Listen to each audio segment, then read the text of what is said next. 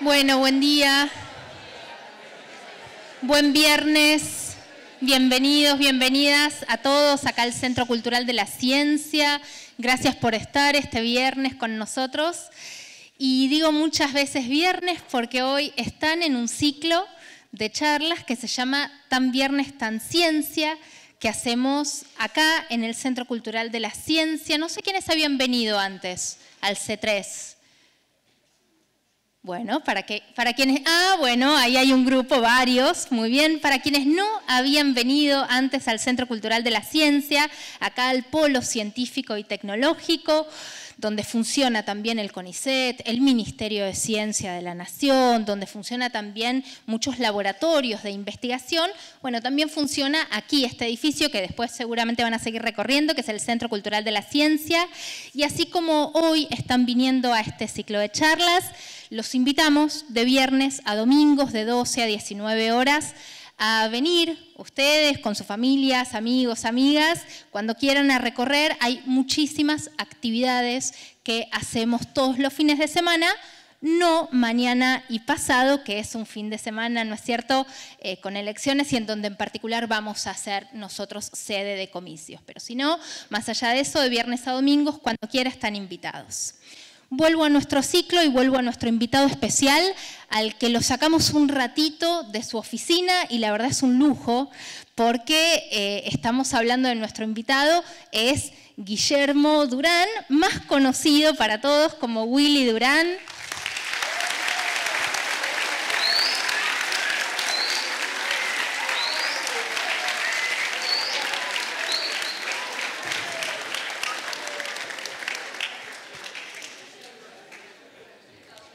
¿Qué motivo ese aplauso? Willy Durán es, eh, es matemático, seguramente les va a contar un poquito más sobre eso. Trabaja, tiene, es investigador principal en el CONICET, con lugar de trabajo, es decir, que su investigación la lleva adelante en el Instituto del Cálculo, pero actualmente además es el decano de la Facultad de Ciencias Exactas y Naturales de la UBA.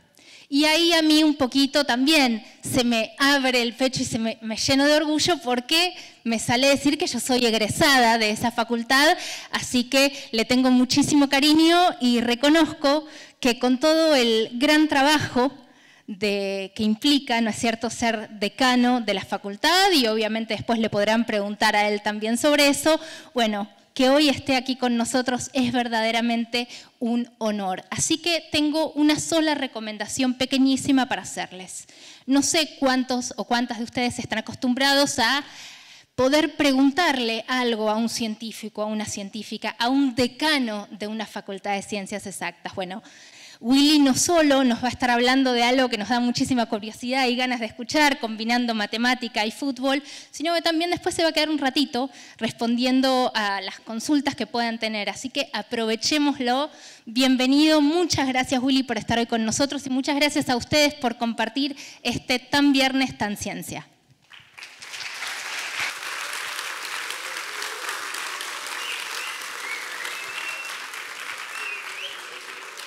¿Cómo les va? Eh, buenos días a todos y todas. Gracias, Guada, por, la invitación y por la presentación. Es un enorme placer para mí estar en este lugar. El Ministerio de Ciencia, de alguna manera, eh, es de todos y todas, ¿no? Y en particular nosotros que nos dedicamos a la ciencia. Así que creo que podemos decir que estamos de local acá también. Eh, y además hablar de estos temas que, bueno, a mí en particular me apasionan eh, y espero que a buena parte de ustedes también, eh, creo que, espero que la pasemos bien durante eh, esta hora que estemos aquí.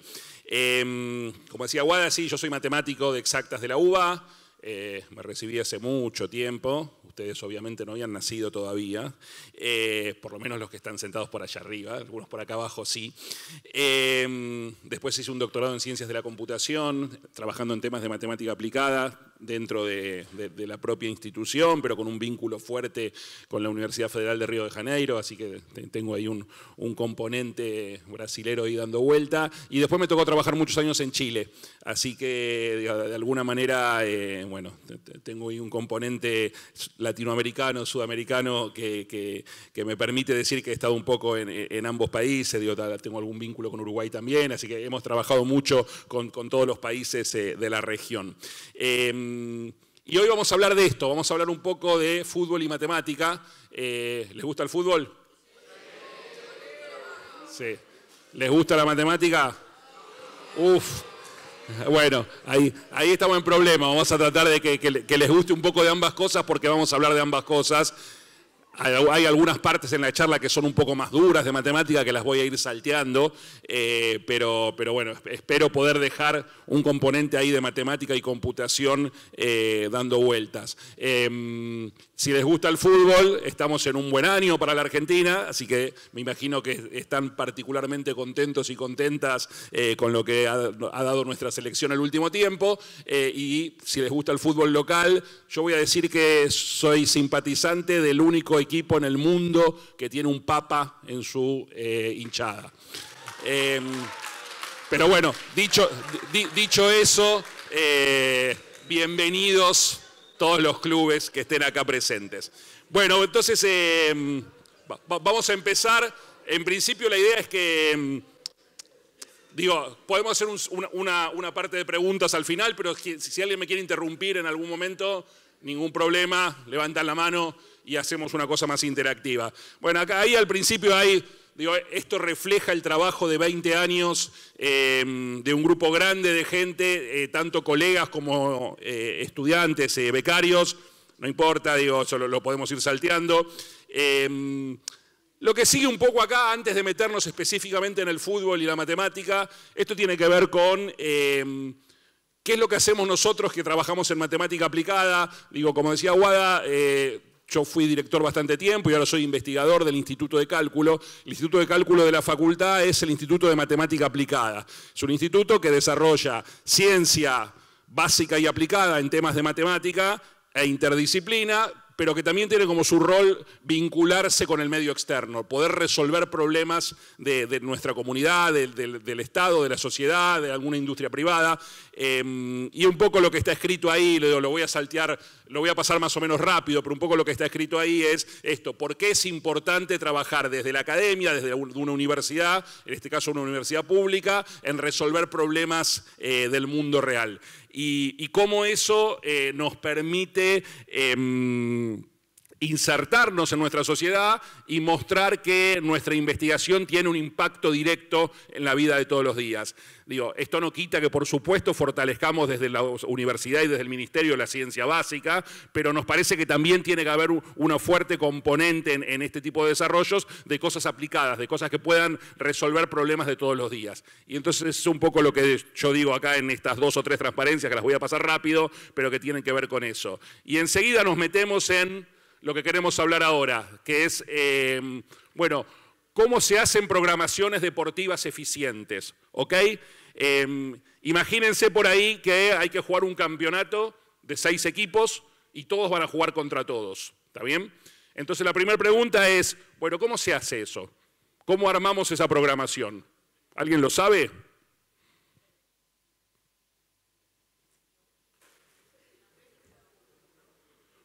Van, jugando uno contra otro, pero ¿de qué manera?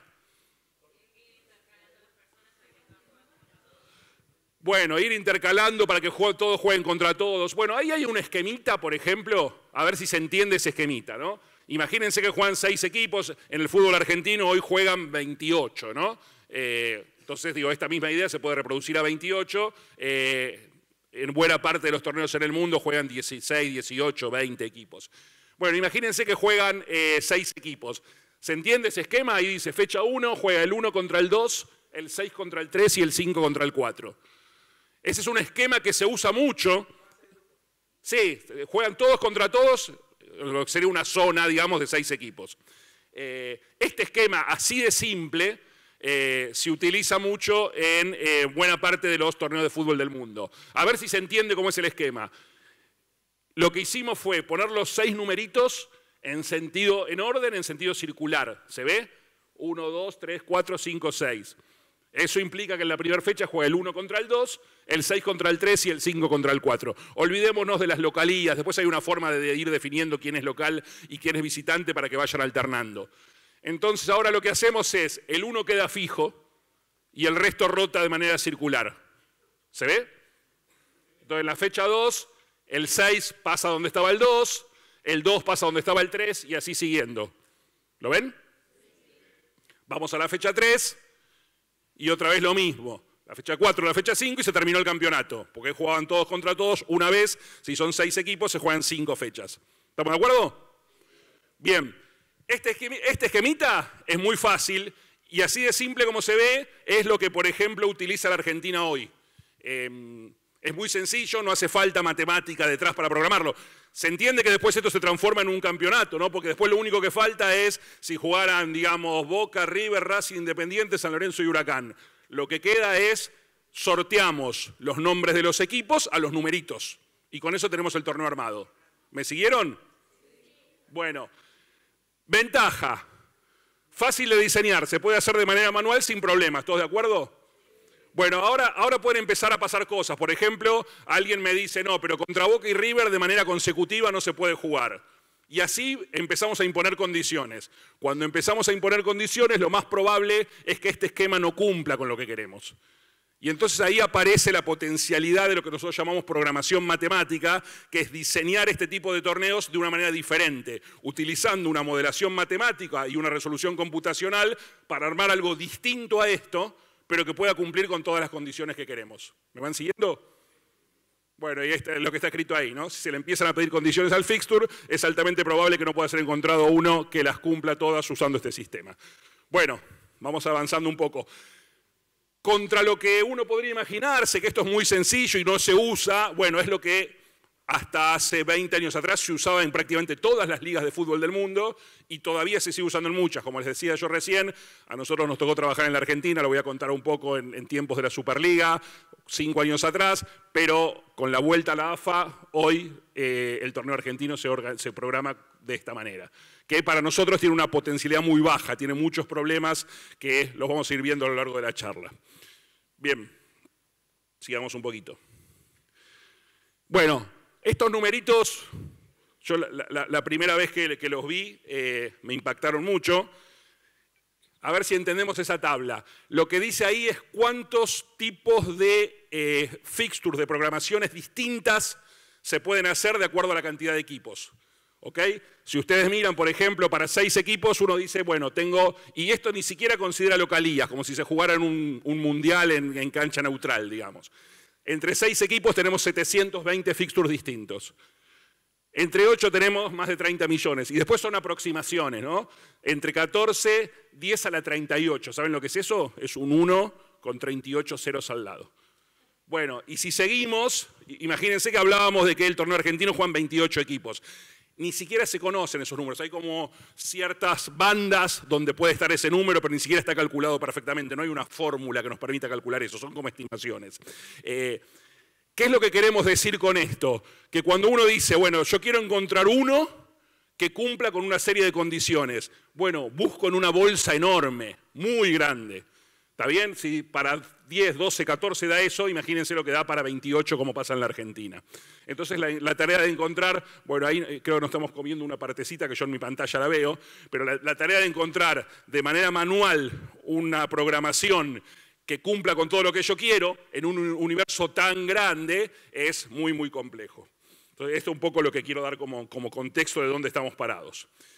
Bien, entonces, eh, eso que dice ahí arriba, Sports Scheduling, disculpe que está en inglés, programación en deportes, así se llama el área en, la literatura internacional. Y hay, esencialmente dos, dos, grandes tipos de problemas, y ahora los vamos a ir definiendo. Los primeros los llamamos problemas de factibilidad. Eso quiere decir que son problemas donde, sería el caso del fútbol argentino, por ejemplo, si uno pone una serie de condiciones que quiere que la programación cumpla, bueno, ¿cómo busco una que lo haga? ¿Está bien? Busco una solución, le quiere decir eso, busco una solución que cumpla con todas mis condiciones. Y por ahí, eh, bueno, a ver, veamos qué dice. Em, está bien, el, primer caso que nosotros encaramos em, hace ya casi 20 años, es la resolución del, problema en el fútbol de Chile. Em, hace 20 años que yo trabajo con un grupo en conjunto entre nuestra facultad y la Universidad de Chile. Hace 20 años que programamos el fútbol de Chile profesional. Em, probablemente sea el caso más eh, continuado de utilización de este tipo de técnicas eh, para, un, para, un, problema de estas características. Em, y acá hemos pasado como distintas eh, comisiones directivas de la asociación, digo, como que en algún sentido todos quienes dirigen el fútbol de Chile han eh, tomado la decisión de que este tipo de técnicas sean las que se utilizan para eh, programar el torneo. Hasta el año 2004 Chile usaba ese mismo mecanismo que les mostré antes de la ruedita que circula y desde el 2005 trabajan con nosotros en algo que es totalmente diferente. Bien, ahí dice dónde surgió. Bueno, surgió a través de un académico muy conocido que vino a Santiago y contó cómo hacía este tipo de trabajo para la Liga de Béisbol de los Estados Unidos. Eh, si hay algo que eh, hay que remarcar es que este tipo de técnicas se usan desde, desde, siempre, desde hace 30, 40, 50 años en los deportes profesionales de los Estados Unidos. O sea, como que no es, no es que hayamos descubierto la pólvora, sino que de alguna forma lo que introdujimos fue, bueno, esto en el campo del fútbol prácticamente no se usaba, sí era muy usual en los deportes profesionales de Estados Unidos, en el béisbol, en el fútbol americano, en el básquetbol, eso era bastante usual. Eh, bueno, en ese momento uno de los principales diarios de Chile tomó esta noticia, a partir de eso la Asociación de Fútbol de Chile se comunicó con nuestro grupo en la universidad y a partir de ahí empezamos a trabajar. Fíjense lo que dice, empezamos con la primera división, eh, al poco tiempo se incorporó la segunda, después la tercera, después las ligas juveniles, eh, ciertas copas nacionales y hace, unos pocos años también el torneo femenino. Em, en total, más de 70 torneos programados a lo largo de estos 19 años con importantes beneficios. ¿Vamos bien hasta acá? Sigamos. Bueno, acá empieza la matemática que, voy, a, ir salteándola, pero lo que sí quiero, digo, esto, si les parece chino, no se asusten. Digo, este es el tipo de modelación que uno utiliza desde la matemática para que después una computadora resuelva. Pero lo que sí quiero ver son el tipo de condiciones que tenemos. Olvídense de la parte de las formulitas y miren el tipo de condiciones que le ponemos a la programación. Por ejemplo, cada equipo juega contra cada uno de los otros equipos exactamente una vez. Estamos, dijimos, en torneos donde juegan todos contra todos, todos contra todos una vez o todos contra todos dos veces.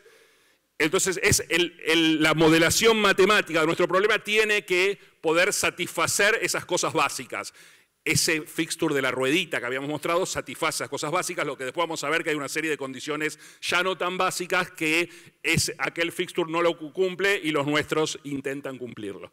Entonces, en cada fecha los equipos juegan de local o de visitante, eh, si hay 19 fechas, cada equipo juega, si hay 20 equipos, por lo tanto 19 fechas, cada equipo juega 9 veces de local y 10 de visitante o al revés, son condiciones que uno hace eh, cumplirle a través de la moderación matemática del problema.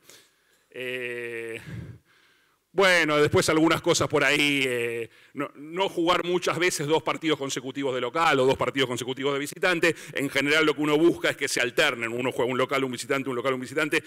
Eso es muy fácil de demostrar matemáticamente que no se puede conseguir siempre, pero entonces uno trata de cumplirlo la mayor cantidad de veces posible. Eh, algunas de las condiciones que hay, olvídense de la parte de la moderación matemática, sepan que detrás de esto hay una moderación matemática. Esto quiere decir que esas condiciones escritas eh, se traducen en esas ecuaciones o inecuaciones que después hay una computadora que hace que las cumplan. ¿Está bien? Si se quedan con esa idea, me doy por satisfecho. Bien, seguimos.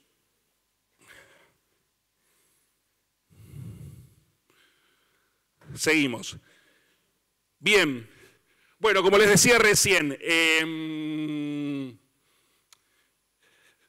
uno, logra una formulación matemática del problema que tiene y después hay una computadora, en realidad un programita, lo que se conoce en computación un solver, como se dirá eso en español, eh, resolvedor, no sé cómo se dice, un solver computacional que hace que esas formulitas matemáticas se satisfagan. ¿Está bien?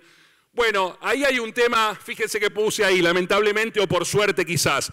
Lamentablemente esto no es muy sencillo, no es que uno dice, le entrego a la computadora y la computadora resuelve. Los problemas e incluso cuando van aumentando en volumen, en cantidad de equipos, los problemas computacionalmente se pueden hacer muy complejos. Eso quiere decir que una computadora puede tardar mucho tiempo si no la, si no la ayudamos a que resuelva rápido. ¿Ok? Entonces estos problemas tienen esas características, son muy difíciles, entonces tiene que aparecer un poco de imaginación del modelador para poder ayudar a la compu a resolver más rápido. Y eso es lo que hacemos y empieza a ver ahí, bueno, un poco lo que hacemos los matemáticos cuando intentamos resolver un problema. Cuando el problema general se pone muy complejo, tratamos de particionarlo de modo que las partes más chiquitas puedan ser resueltas de manera más eficiente. Y acá hacemos algo parecido. Bueno, como el problema general a veces computacionalmente podría tardar meses, años, eh, y eso no nos sirve en términos prácticos porque nosotros no le podemos decir a la Federación de Fútbol, aguántenme un par de años que les doy una programación. ¿Está bien? Entonces, bueno, tenemos que encontrar la forma de que en horas haya, una resolución. Bueno, todo lo que se hace se descompone el problema, primero se fija, se trata de fijar las localías de los equipos, se dice, por ejemplo, no sé, Boca jugará el primer partido de local, el segundo de visitante, el tercero de local, el cuarto y el quinto de visitante, y así siguiendo, y una vez que tenemos como un esquema de localías de los equipos, después atacamos el problema en un universo mucho más chiquito, y eso en general nos permite resolver el problema. Nada, me quedo un poco con eso, digamos, como que en realidad lo que necesitamos es que en una, dos, tres, cuatro horas podamos tener una solución. ¿Por qué? Porque además esto tiene un proceso iterativo muy largo. Digo, no es que uno resuelve el problema y listo, y se terminó. Uno resuelve el problema, lo entrega, la federación lo analiza, dice, ah, ¿saben qué? Me olvidé de eh, que faltaba la condición tal, bueno, entonces hay que empezar de vuelta. Hay, como un proceso iterativo que suele durar como un mes, donde si uno tiene un eh, mecanismo para responder rápido en un par de horas, funciona bien. Si ante cada respuesta tarda un par de días, empieza a funcionar de manera complicada. ¿Está bien? Bueno, y ahí, está escrito un poco ese proceso iterativo que les cuento. Em, bien, Ahí hay algunos numeritos, digo, cuando nosotros hacemos esto, lo que tratamos de hacer es, bueno, ¿qué impacto tiene?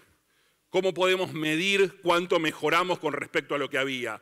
Así como los que trabajan en ciencias naturales tienen sus experimentos de laboratorio, digo, donde comparan una situación con determinada cosa y sin determinada cosa y comparan. Bueno, acá tratamos de hacer algo parecido. ¿Qué pasaba cuando los torneos se programaban de manera manual y qué pasa ahora que se programan eh, de manera em, científica, con utilización de herramientas eh, computacionales y matemáticas? Bueno, ahí hay algunas, algunas comparaciones. A veces es complicado de hacer esto porque Em, puede haber muchos factores, por ejemplo, ahí medimos cuánta gente va a los estadios. Bueno, ¿esto, es, esto está asociado eh, solamente con la programación? Evidentemente no. Eh, ¿Influye la programación? Evidentemente sí. Bueno, nada, tratamos de medir algunas cosas. Lo primero que aparece ahí para, mirar alguno, por ejemplo, ese que dice UCH Colo es el, sería el equivalente al River Boca de la Argentina. Eh, y si miran ahí, hay un, caso muy em, un caso muy, muy paradigmático que cuando nosotros tomamos esto, eh, una de las cosas que había pasado es que el clásico del fútbol chileno se había jugado en la primera fecha, porque el sorteo había dado eso. Y obviamente todo el mundo creía que eso no era una buena idea. Eh, digo, que les gusta el fútbol se van a dar cuenta que no tiene lógica que el Boca River se juegue en la primera fecha, ¿de acuerdo? Bueno, nada, entonces ahí medimos cuánta gente fue con el clásico jugado en la primera fecha, y si ustedes miran ahí, por ejemplo, 25.000 personas, contra 45.000, casi el doble, eh, en alguna oportunidad que se jugó por la mitad del torneo. Y ahí, bueno, medimos algunas otras cosas que, tienen que ver con, bueno, cómo identificar el impacto cuantitativo que algunas de, estas, de algunos de estos mecanismos eh, tienen. Eh, ahí hay alguna otra cosa, esta fue una sugerencia nuestra, hay una ciudad turística muy conocida en Chile que es Viña del Mar, y nosotros lo que planteamos fue que estaba bueno que durante el verano los equipos más importantes del país fueran a jugar a Viña del Mar, porque era como un atractivo turístico más para la zona. Lo hicimos en Argentina cuando nos tocó organizar en la Superliga, que mandábamos también a los equipos grandes a jugar a Mar del Plata en, tiempo de verano. Y bueno, y esto también era, era, medir, bueno, ¿qué pasa si un equipo grande va a jugar a Viña del Mar en febrero? ¿Y qué pasa cuando el sorteo ponía ese partido en mayo? Y bueno, cómo cambiaba el número de gente en función de eso. Nada, algunos indicadores que nos permiten mostrar que cuando uno pone un poco más de cabeza y tecnología para la generación de una programación, bueno, tiene resultados cuantitativos mejores. Bien, seguimos. Eh, ¿Vamos bien hasta acá? Em, a ver si puedo mostrar un videito. Bueno, esto tiene que ver con este tipo de cosas que nosotros hacemos, como les decía hace un rato, lo hacemos desde el mundo académico y por lo tanto tratamos de no solo entregar una solución, sino también que haya publicaciones científicas, que haya tesis que los estudiantes hacen, como que em, una serie de componentes académicos alrededor de la resolución de un problema que por supuesto cuando una consultora privada trabaja no le interesa y es lógico que no le interese. Desde la universidad resolver problemas implica también todo este tipo de cosas. A ver si logro ahí em, mostrar un videito.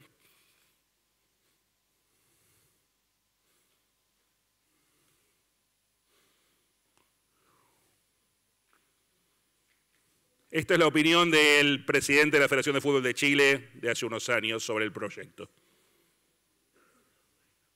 Mi nombre es Arturo Salá, presidente de la NFP, Asociación Nacional de Fútbol Profesional de Chile.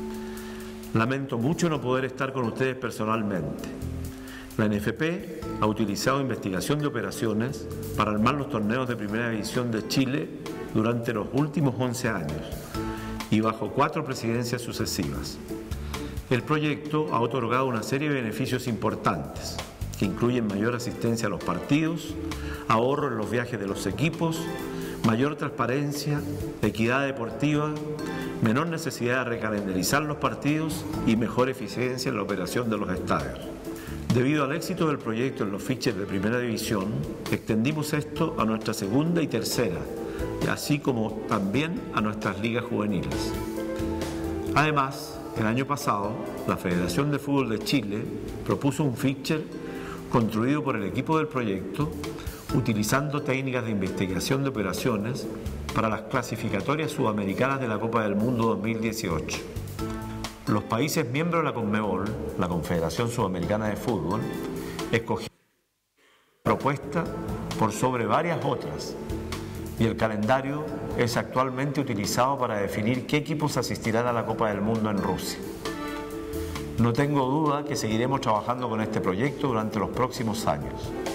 En efecto, hoy ni siquiera podríamos imaginar programar nuestros fixtures sin la ayuda de investigación de operaciones. Saludo a todos desde Chile.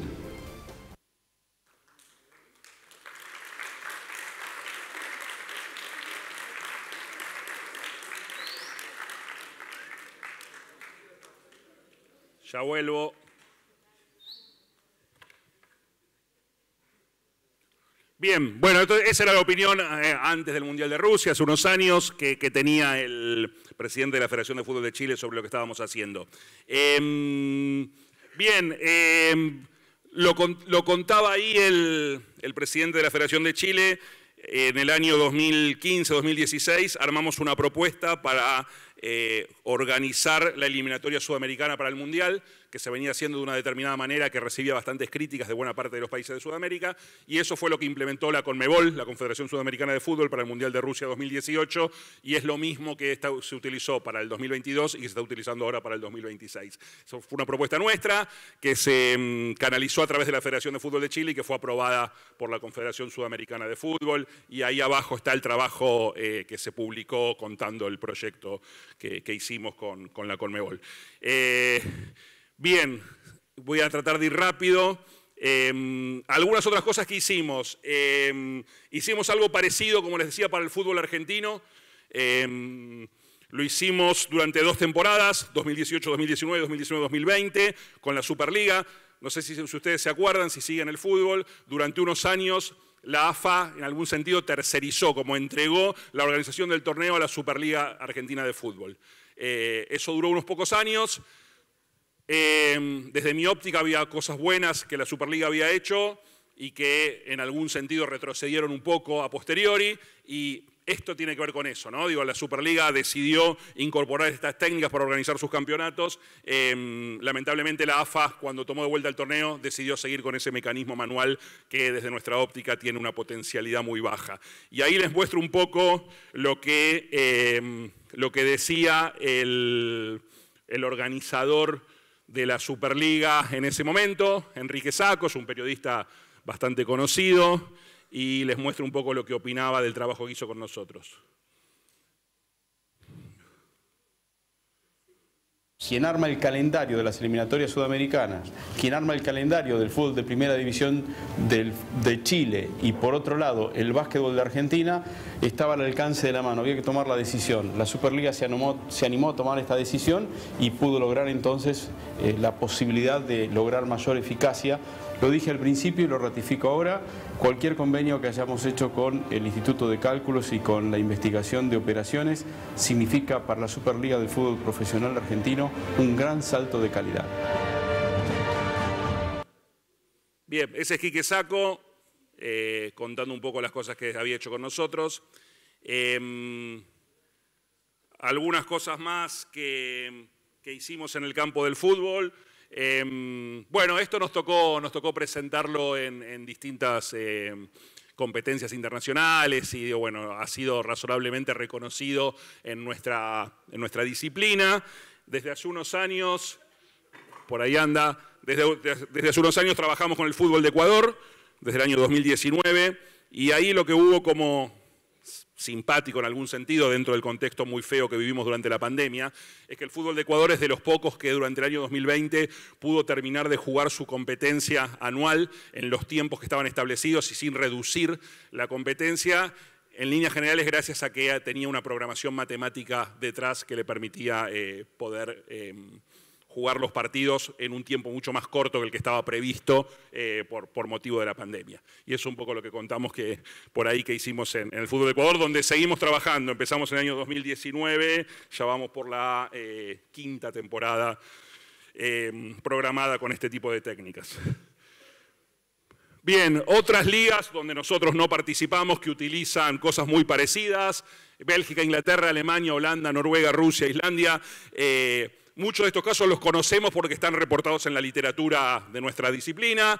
Hay otros casos donde parecería haber eh, alguna técnica detrás en la preparación del fixture, donde no está ese esquema de la ruedita tan sencillo, pero en muchos casos no lo reportan. A veces hay eh, organizaciones privadas que son quienes trabajan en esto y que por cuestiones de confidencialidad suelen no contarlas. Nosotros una de las cosas que tenemos es que cada vez que hacemos alguna de estas cosas las tratamos de contar. Eh, entonces a veces uno no se entera, pero en buena parte de esas ligas europeas, ninguna con el tiempo que tenemos nosotros en Chile, de 20 años de continuidad, pero a partir del 2010 más o menos muchas de estas ligas eh, incorporaron también técnicas matemáticas en la confección de su programación. Bueno, así como, como les decía antes, como que dos caracterizaciones distintas de problemas. Eso llamamos problemas de factibilidad, problemas donde hay que cumplir una serie de condiciones y ese es el objetivo central. En paralelo tenemos otros que llamamos problemas de optimización. Estos están más relacionados a los torneos donde, por ejemplo, el del básquet en Estados Unidos, no sé si alguno de ustedes sigue la NBA en Estados Unidos, o el del básquet en Argentina, donde se juegan partidos de manera muy, muy, seguida, muy consecutiva. ¿no? un equipo por ahí puede jugar lunes, martes y miércoles. ¿Está bien? Esos problemas en términos matemáticos son bastante diferentes a los otros. En el fútbol uno juega domingo, domingo, domingo, domingo, entonces no hay problemas de distancias que resolver. Está bien, si un equipo juega en Buenos Aires y tiene que viajar a Córdoba a jugar un domingo, bueno, va, juega en Córdoba y vuelve a su casa. Por lo tanto, ese partido siempre lo va a tener que jugar y siempre va a ser el viaje a Buenos Aires, Córdoba, Buenos Aires. Por lo tanto, no hay un problema de mejorar el, tema de las distancias. En este caso, imagínense un equipo de mm, la costa este de los Estados Unidos que tiene que ir a jugar tres partidos a la costa oeste. Obviamente no, no hace de ida y vuelta, sino que juega uno, después juega otro, después juega otro y recién después vuelve a su casa. Entonces ahí aparece un problema que nosotros llamamos de optimización, tratar de minimizar las distancias de viajes. Y a pesar de que ambos son eh, programaciones deportivas, la em, caracterización matemática de los distintos problemas es bien diferente. Y a eso lo llamamos problemas de optimización. Bueno, eh, esos problemas de optimización em, son aún más complejos que los que conté antes y nosotros lo aplicamos durante ocho años al básquet de Argentina. Em, y a ver si logro mostrar alguna de las tablitas que tengo ahí de datos. Déjenme adelantarme un poco.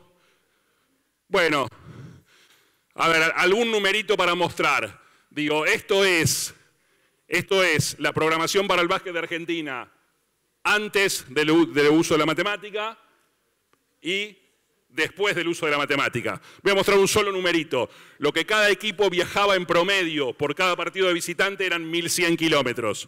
Y lo que pasó a, viajar por cada partido de visitante son 755 kilómetros, en promedio. Después está analizado para cada equipo. Eso muestra que hay casi como un 30% de disminución de viajes. Eso implica menos costos, menos desgaste para los jugadores. Digo, e, es muy fácil de medir, lo que decimos siempre, lo que nos pueden pagar por esto por este servicio es mucho menos que lo que la liga se ahorra gracias a utilizar este tipo de técnicas. Ese es el otro mensaje que quiero dejar. Y, si vamos a hablar de básquet y de Argentina, ¿a quién les gustaría escuchar opinando sobre esto? ¿A? A Manu, dicen todos, vamos a ver si está Manu. Vamos a ver si aparece Manu. De, de la generación de Manu, ¿conocen algún otro jugador también? Bueno, vamos, vamos a ver si además de Manu aparece algún otro. Uh, in, in our experience working with the, the group of uh, operations research has been a success really important. In this season we got almost half around 40% of uh, the time we spend in a hotel or the gym instead of uh, on the road. So for us it has been a tremendous experience in terms of working with this group and avoiding in our situation once again in Bahia basket situation a lot of injuries. Overall it's been a great experience working with them. I mean we know that uh, they've been working with the Chilean football for over 10 years the Argentinian Basketball League was in need of a new schedule the one before was outdated and considering the huge size of the country the lack of highways and interconnecting flights something had to be done uh, the team of mathematicians from the UBA uh, did a great job optimizing travel time for the athletes and saving a lot of money to the teams. I think it was a great decision by the league. Uh, it was a job very well done by this group of uh, scientists. And of course, it still need a lot of tweaking, uh, but for sure they are on the right track and I'm excited about it. Bueno, ahí estaba. Primero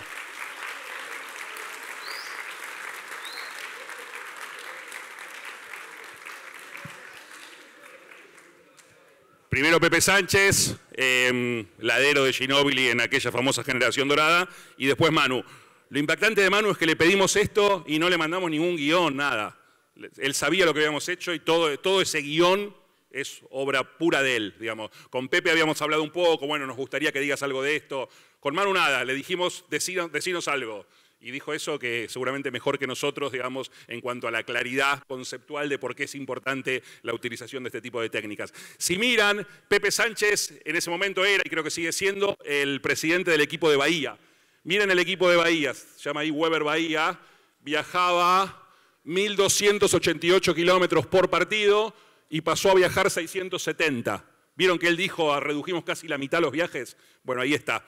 Eh, y la reducción tiene que ver con el lugar geográfico donde es el equipo, pero también en la visión que los directivos tienen, porque algunos equipos decían, bueno, no, yo prefiero no ahorrar tanto, pero no jugar tantos partidos seguidos de visitante. Bueno, aquellos que vieron mejor cómo esto le podía impactar desde lo económico, lo aprovecharon más. Y el equipo de Bahía era uno de los ejemplos más, más notables. Ahí aparece cómo cabezas abiertas y, mucha visión y por ahí la experiencia que tenía en este caso Pepe de, haber eh, jugado mucho tiempo en Europa y en la NBA le permitía entender cómo este tipo de técnicas eran muy importantes y eran mucho mejor que programar los campeonatos a mano.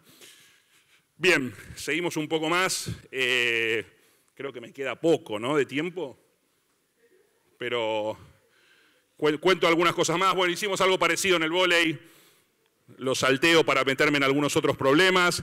Bueno, ahí, ahí, pasa, ahí también tenemos eh, em, el tema de las distancias en el vóley. Nosotros empezamos a trabajar en el 2007, pero programamos de manera, con nuestras técnicas, las temporadas últimas que habían hecho ellos de manera manual y se veía, por ejemplo, esa que dice 2005-2006. Bueno, distancia total viajado por los equipos, 135 mil kilómetros. Si lo hubiéramos hecho con el modelo, 105 mil. De vuelta aparece ese 30% o cosa 25% de reducción de viajes gracias a la utilización de estas técnicas. Em, bien, algunos problemas más que hemos trabajado. los primeros problemas que, mencionamos tienen que ver más con lo que se conoce en matemática como optimización. Y esto que estoy contando tiene más que ver con estadística, esto que voy a contar ahora tiene más que ver con estadística y ciencia de datos. Em, armamos tres sitios que nos permiten, eh, en algún sentido, intentar predecir resultados ante una competencia. ¿Qué quiere decir esto? Porque a veces uno, eh, a veces nos preguntan y tenemos que ser muy cuidadosos en la explicación. A veces nos preguntan, dicen, ah, ustedes nos, dicen cómo va a salir el Mundial. No, nosotros no decimos cómo va a salir el Mundial. Es fútbol, juegan 11 contra 11, puede haber expulsado, se puede haber un lesionado. Las contingencias que hay en un partido son muy difíciles de predecir. Lo que sí dicen estos modelos es qué es lo más probable que puede pasar en función de la historia reciente de los países. Por ejemplo, en el último Mundial decía que el principal favorito a ganar el Mundial era Brasil, el segundo Argentina y el tercero Francia. Bueno, nada, al final la jugaron Argentina y Francia. Eh, ¿Quiere decir que nos equivocamos porque, por suerte, ¿no? Porque Brasil no estuvo en la final? No, no nos equivocamos. Esto tiene que ver con posibilidades de acuerdo a la historia. Y era bastante lógico, de acuerdo a la historia, que los modelos tuvieran a Brasil como principal favorito. Eh, hicimos extensiones de eso al básquet y al rugby. Creo que no tengo conectividad ahora a internet, pero si tienen sus celulares, les propongo que abran la última. Ah, bueno, primero, ¿por qué la de fútbol se llama 30-10-60? ¿Qué dijeron por allá? La fecha de nacimiento del Diego. Bien, bien, muy bien. 30 del 10 del 60. Está bueno, porque está bueno que lo hayan sacado rápido, porque en general alguna gente lo mira más desde un punto de vista matemático, dice, ah, suma 100, eh, debe ser una probabilidad matemática porque suma 100. Bueno, nada, el Diego era tan perfecto que hasta su cifra sumaba 100, pero más allá de eso, eh, tenemos la suerte de decir que lo hicimos, un homenaje al Diego, pero con el Diego en vida, porque este sitio tiene, em, empezó a funcionar allá antes del Mundial de Rusia 2018. Eh, bueno, y entonces cuando hicimos la extensión al básquet, le pusimos 2807 del 77, no somos muy originales, se imaginarán que es esa fecha. El nacimiento de Manu, exacto. Y cuando hicimos el del rugby teníamos un problema, porque cuando hablábamos con los más viejos, nos decían que había que poner la fecha de nacimiento de Porta. Y cuando hablábamos con los más jóvenes, nos decían que había que poner la fecha de nacimiento de Pichot. Entonces no podíamos poner las dos y algún experto en rugby nos dijo, los Pumas nacieron en Sudáfrica en un partido que ganaron en 1965. Entonces, eso tiene la fecha 19 de junio del 65, que es la fecha de nacimiento de los Pumas. Y esa está vigente ahora. No tengo conectividad a internet ahí, pero si lo tienen en sus celulares, abran esa página, 190665.exactas.uva.ar, y por ejemplo está situada hoy en las semifinales del Mundial de Rugby. lamentablemente dicen que Nueva Zelanda es favorito contra Argentina, cosa que es esperable, y creo que la otra semifinal es Sudáfrica con Inglaterra, dicen que Sudáfrica es favorita con Inglaterra. De nuevo, nosotros no damos eh, respuestas contundentes de qué es, lo, que va a pasar. Damos un indicio en función de la historia, a través de modelos estadísticos, de qué es lo más probable. Discutía y me peleaba un poco con algunos periodistas de rugby cuando les mostré esto, que me decían, eh, ustedes desde la matemática creen que van a saber más que nosotros que vemos rugby todos los días. Y una de las cosas que me decían, por ejemplo, bueno, por ejemplo, el número uno del Mundial de Rugby es Irlanda. Y bueno, nosotros decíamos que Nueva Zelanda era más favorito que Irlanda em, y Nueva Zelanda le ganó Irlanda. Así que le ganamos un poco a los periodistas especializados. No, no es que siempre pasa eso, pero digo, de alguna forma de vuelta, lo que intentamos dar es indicios de lo que puede pasar y tratamos de medir de alguna forma cuán bueno es el modelo con algunos indicadores o factores que nos permiten analizarlo. Nada, si lograron entrar a esa página van a ver que está actualizada para la semifinal del Mundial que se juega esta tarde y que eh, dice que, lamentablemente, Nueva Zelanda es favorito contra Argentina, algo así como, no sé, dos tercios, un tercio, 65 a 35, algo así. Em, me acuerdo que antes de la final de, de la Copa América del 2021, que Argentina gana en el Maracaná, por supuesto que el modelo tenía favorito a Brasil, era lo esperable, Brasil hacía muchos años que no perdía, jugaba de local, y creo que tenía algo así como 75-25 el modelo, o sea, como que tres cuartos contra un cuarto la posibilidad de, Argentina contra, la posibilidad de Brasil contra la Argentina. Y unos días, unos días antes me llamó una queridísima periodista científica amiga, Nora Bar, eh, me hizo una entrevista y me dijo, ah, ustedes están diciendo que el domingo va a ganar Brasil. Y yo le contesté, estamos diciendo que de cada cuatro partidos que se jueguen, uno va a ganar Argentina. Esperemos que sea el del domingo. Y bueno, por, suerte pasó. De vuelta, quiero que se entienda esto, digo, más allá del chiste. Em, de acuerdo a la historia, uno puede dar ciertos indicios de lo que puede llegar a pasar o qué es lo más probable que pase. No más que eso, y termina siendo un juego y de alguna forma utilización de los modelos para entender eh, más o menos lo que está pasando en una competencia deportiva. Em, no sé si quiero contar alguna cosa más. Eh, bueno, nada, esto es un poco dónde utilizamos estos modelos y en qué torneos. Y las últimas, nada, voy a contar un un proyecto más que estamos trabajando ahora.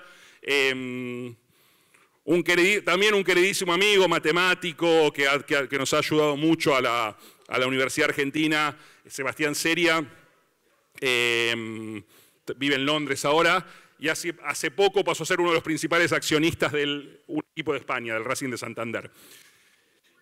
Y nos convocó para que armemos un grupo que estudie algunos problemas cuantitativos, matemáticos, aplicados a mejorar la situación de su equipo de fútbol. Y eso empezamos a trabajar hace muy poquito, estamos en proyectos distintos en prevención de lesiones dentro de un plantel de fútbol, el último en tácticas de juego, qué es lo que puede hacerse dentro de un partido de fútbol para mejorar el rendimiento de un equipo. Y el, del medio, disculpen que está en inglés, de vuelta no sé muy bien cómo se dice en español, dice scouting. Em, cómo tomar decisiones para mejorar un determinado equipo cuando hay un mercado de pases. No sé cómo se dice eso en español. Em, en una palabra sola, digo. Eh, bueno, nada, digo, de vuelta para mostrar que aparece la matemática tratando de ayudar a mejorar equipos de fútbol o equipos de cualquier deporte. Hay una película famosa, Moneyball, que aplica al béisbol de los Estados Unidos, que es un caso real de cómo con un presupuesto bastante bajo un equipo de béisbol pudo tener eh, un rendimiento mucho más alto que el que uno suponía que iba a tener em, en función eh, de, lo que era la institución. Eh, nada, esencialmente eso. Gracias.